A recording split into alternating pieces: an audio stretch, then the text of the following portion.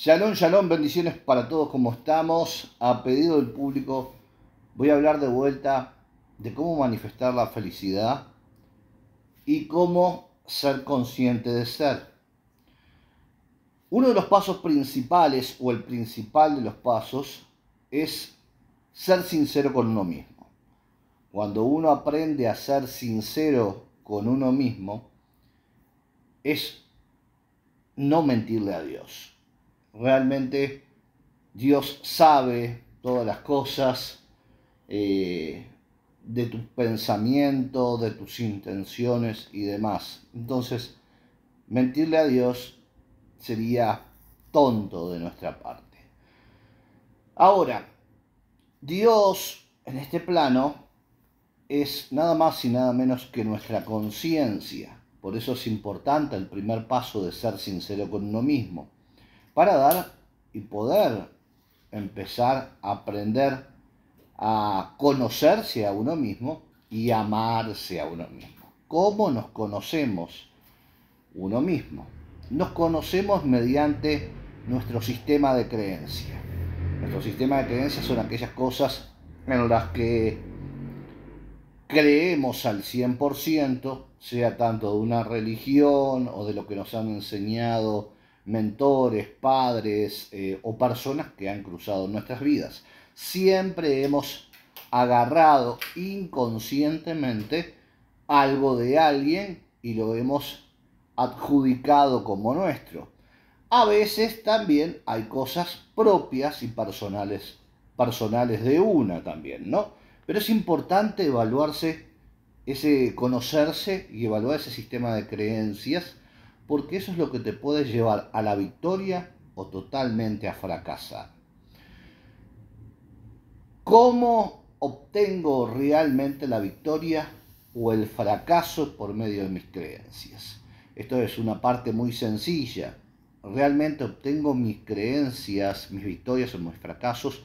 Depende si le hago caso a mis creencias 100% o, o no. Por eso decíamos que nuestra conciencia es Dios.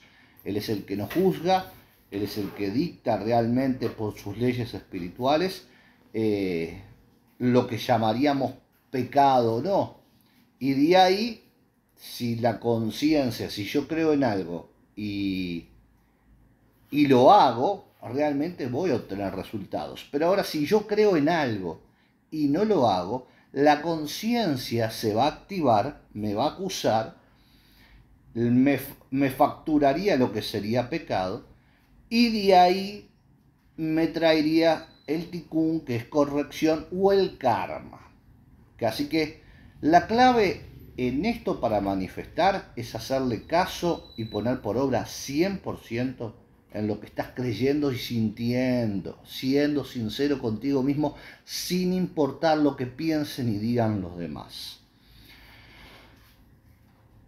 La felicidad, para manifestar la felicidad, ese paso que dije recién es importantísimo. ¿Por qué? Porque la felicidad y tu felicidad dependen nada más y nada menos 100% de ti mismo, de lo que te guste hacer, de tu forma de pensar, de tu forma de actuar, de tu conciencia y de disfrutar y de ser feliz sin importar lo que piensen o digan los demás.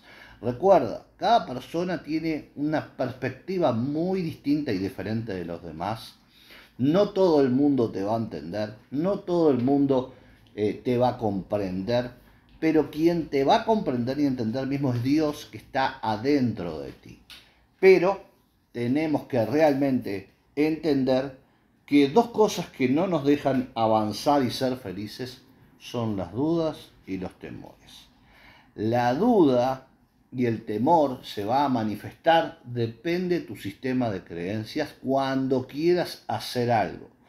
Porque cuando quieras hacer algo diferente de lo que crees, si no cambias ese sistema de creencias, si no dejas lo viejo por lo nuevo, si no te vas renovando día tras día por medio del entendimiento, como dice Romanos 12.2, vas a quedar en esclavitud toda la vida de un sistema de creencias que te implantó o una religión o una persona.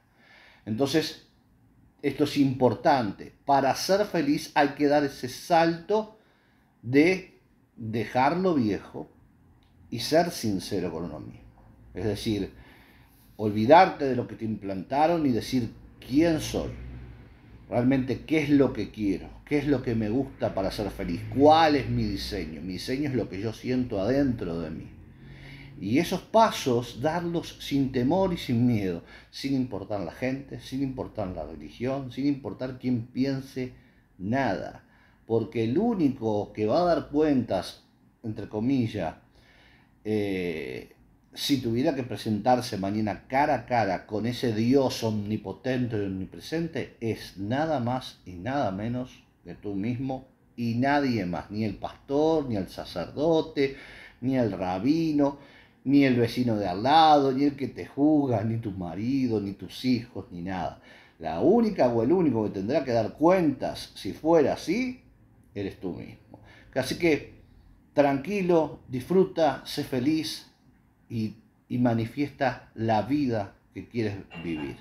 Viniste a este plano a tener una experiencia humana, no a ser un esclavo ni una esclava de gente que solamente quiere controlarte y manipularte. Shalom.